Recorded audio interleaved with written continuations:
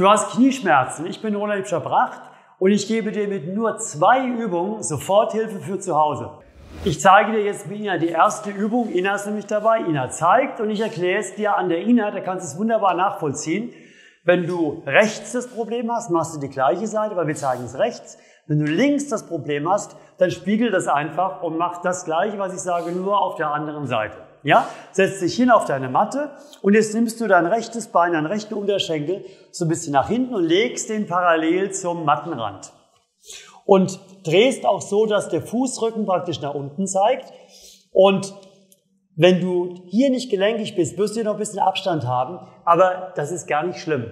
Stell dich nur so ein. Bei der Ina kommt das schön runter, sie ist auf der Matte, das ist das Ziel sozusagen. Ja? Nummer zwei, jetzt versuchst du mit deinem Gesäß so dicht wie möglich zur Ferse zu kommen, also dich auf die Ferse zu setzen. Aber es kann sein, dass du noch einen riesen Abstand hast. Das ist nicht schlimm. Wenn du nicht drauf kommst, dann bleibst du eben so weit weg, bis dahin, wo du kommst. Den Rest soll ja die Übung dann machen. Es soll ja besser werden durch die Übung. So, wenn das jetzt soweit stimmt, jetzt wird's spannend.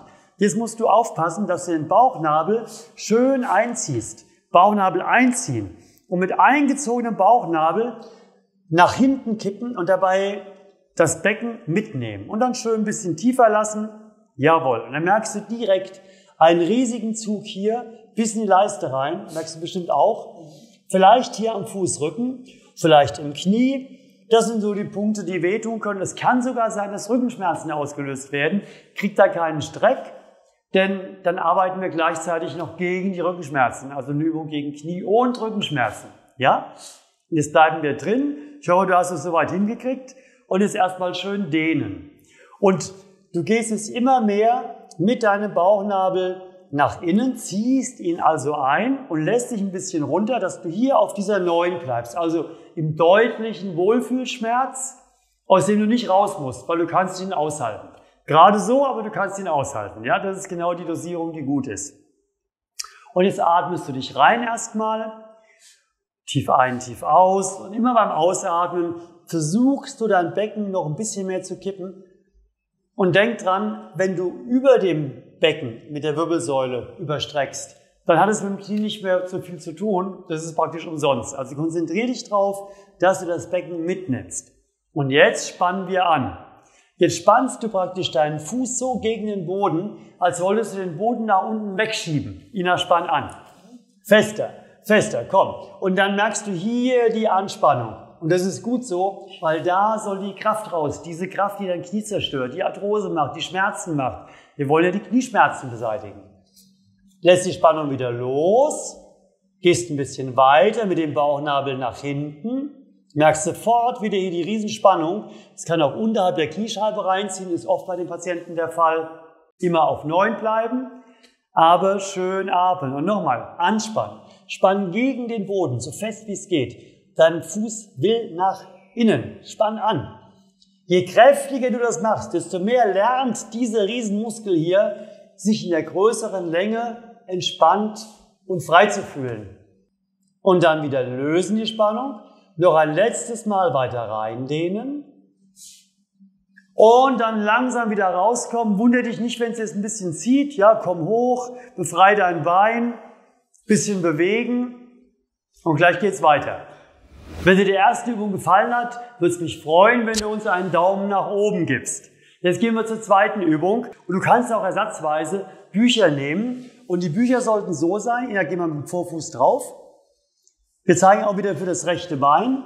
Ja, musst halt die Bücher so stapeln, dass die Höhe gut stimmt, dass du hier einen Winkel bekommst.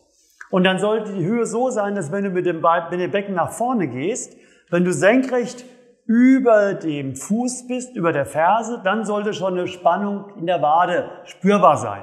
Wir zeigen ja das mit dem Knieretter. Ina, geh bitte mit dem rechten Fuß drauf. Genau. Der linke Fuß, der stellt sich irgendwie daneben, auf die Fußspitze am besten, dass du sicher bist, kein Gewicht drauf zu haben, dass die volle Belastung auf dem rechten Fuß ist. Und dann gehst du vorsichtig mit dem Becken so weit nach vorne im gestreckten Knie, bis du schon hier in der Wade eine deutliche Dehnung spürst.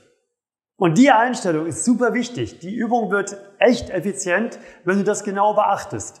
Und jetzt gehst du ins Hohlkreuz. Ja, ins Hohlkreuz gehen ohne mit dem Gesäß zurückzugehen. Du musst aufpassen, dass du nicht wieder aus der Dehnung für die Wade herauskommst. Geh ein bisschen weiter nach vorne. Genau, mach dir die Abstände so, dass sie gut passen.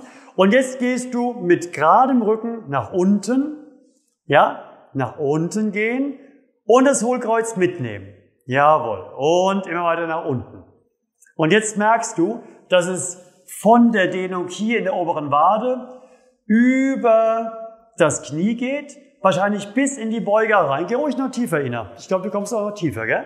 Mhm. Genau. Ziel ist, dass du von hier bis hier oben eine richtig große Dehnung drin hast. Und dafür ist der Knieretter oder auch die Bücher als Hochlegen. Jetzt gehen wir in die Dehnung. So, und jetzt spannst du bitte deinen rechten Fuß nach unten, so fest wie es geht, als wolltest du dich auf die Zehenspitzen stellen. Und wieder locker lassen und weiter nach unten gehen. Genau, bisschen weiter nach unten gehen und schön mit dem Gesäß über dem rechten Fuß bleiben und nicht wieder nach hinten weggehen. Ja? Und nochmal, du spannst wieder den rechten Fuß so fest wie möglich gegen den Boden. Lässt die Kraft los und gehst nochmal ein bisschen tiefer.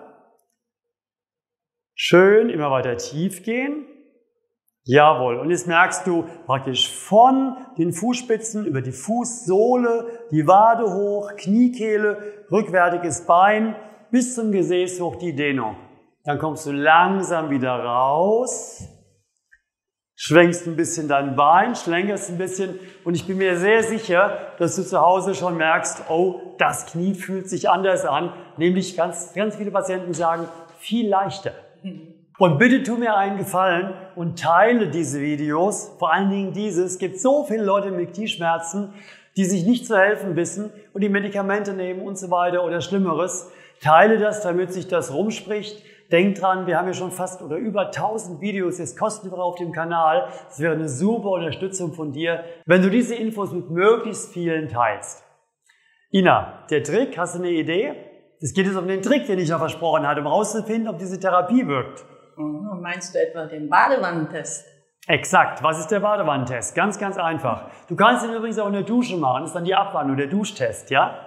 Wenn du Knieschmerzen hast, dann geh 20 Minuten in eine angenehm heiße Badewanne, geh hinterher raus, lauf deine Schritte, guck, wo es wehgetan hat und wenn es weniger weh tut, was meistens der Fall ist, dann ist der Beweis, die Spannung deiner Muskeln ist verantwortlich, weil die in der heißen Badewanne runtergehen. Wenn du keine Badewanne hast, auch kein Problem, dann duschst du 10 Minuten lang dein Bein damit trocknet es richtig schön ab, Oberschenkel, Unterschenkel bis in die Hüfte rein und dann ist der Test der gleiche. Wenn du noch mehr für dein Knie tun willst, dann klick mal hier oben auf die Knie-Challenge. Sieben Tage wird dir Spaß machen und hier unten kannst du unseren Kanal abonnieren, was du dringend tun solltest, wenn du es noch nicht getan hast. Ciao.